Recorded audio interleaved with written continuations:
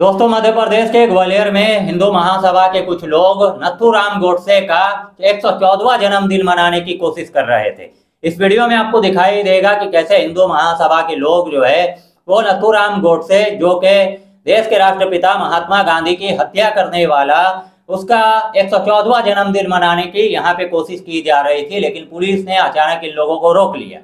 इन लोगों के हाथ में पोस्टर था और जो तख्ती लेकर ये लोग पहुँचे थे, पुलिस ने इनसे छीन लिया। उसके बाद जो पोस्टर, जो फ़ोटो था, उसको एक पेपर में लपेट कर इन लोगों को दिया गया और कहा कि ये सब जो भी कर रहे हो, इसे जाकर घर पे करना। उसके बाद यहाँ पे हंगामा देखने को मिला और कैसे पुलिस ने इन लोगों को रोका है, वीडियो में क्या कुछ सामने आया, वो जरा आप देखिए इस वीडियो में। उसके बाद आगे क्या खबर है?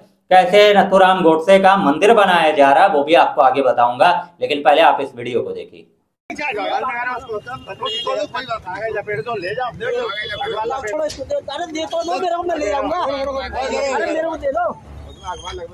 अखबार अपने घर में जो करना है। तो घर में ही तो कर रहे थे कार्य और क्या है? सर लाओ दे लाओ।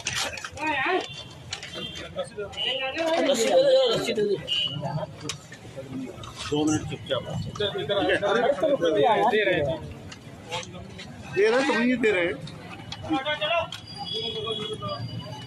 वीडियो देख लिया आपने, ये हिंदू महासभा के लोग थे जो इस तरीके से रोड के ऊपर 114वां जन्मदिन मनाने के लिए नथुराम गोडसे का, जिसने महात्मा गांधी को जान से मार दिया। उसका जन्मदिन मनाने के लिए ये लोग रोड के ऊपर उतरे, लेकिन पुलिस ने लोगों को रोक लिया और उसके बाद जो पोस्टर था, जो फ़ोटो ये लोग लेकर घूम रहे थे, उसे छीन कर कहा कि ये सब जो भी कर रहे हो, अपने घर पे जाकर करो। उसके बाद यहाँ पे जो हंगामा देखने को मिला, आपने देखा, इसको लेकर काकवी लिखते हैं, हिंदू महासभा द्वारा महात्मा गांधी के हत्यारे नथुराम गोडसे का 114वां जन्मदिन मनाने की कोशिश पुलिस ने रोका।